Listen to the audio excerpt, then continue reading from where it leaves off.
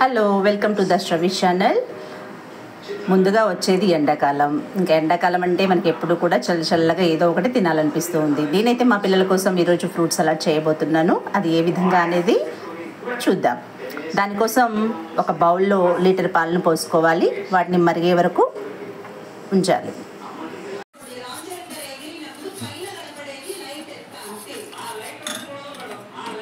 ఇలా మరుగుతున్న పాలల్లో మనం ఇప్పుడు కస్టర్డ్ పౌడర్ని యాడ్ చేసుకుందాము. ఈ కస్టర్డ్ పౌడర్ని మనం కొన్ని పాలల్లో ముందే కలిపి పెట్టుకోవాలండి.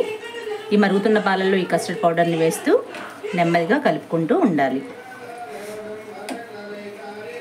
ఈ కస్టర్డ్ ఈ పాలు కొంచెం చిక్కబడే వరకు మనం కలుపుతూనే ఉండాలి.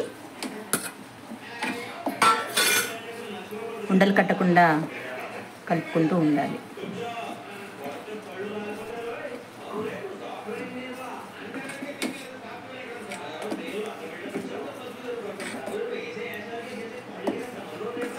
ఇందులో రుచికి సరిపడా మీరు షుగర్ని యాడ్ చేసుకోండి మీ టేస్ట్కి తగ్గట్టుగా.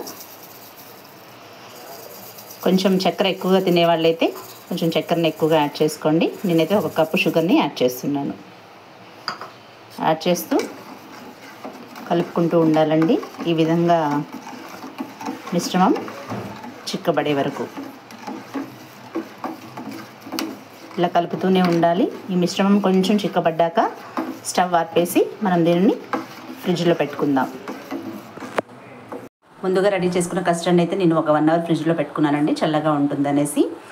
నేను షుగర్ వేయకముందు నా వరకు నేను సపరేట్గా కొంచెం తీసుకున్నాను దానిలో నేను కొంచెం హనీ యాడ్ చేసుకొని తిన సర్వ్ చేసుకుంటాను.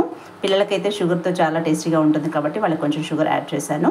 దానిలో మనం కొన్ని ఫ్రూట్స్ని యాడ్ చేసుకుందాం. Tutti frutti dates grapes dragon అదేవిధంగా యాపిల్ దానిమ్మ గోవా పైనాపిల్ స్ట్రాబెర్రీ. అదేవిధంగా కొన్ని డ్రై ఫ్రూట్స్ని కూడా యాడ్ చేసుకుందాం. చాలా టేస్టీగా ఉంటుంది. ఎంతో టేస్టీ టేస్టీ ఫ్రూట్స్ అలా రెడీగా ఉందండి. దీనిని ఇప్పుడు చల్లగా సర్వ్ చేసుకుందాం. Let's enjoy.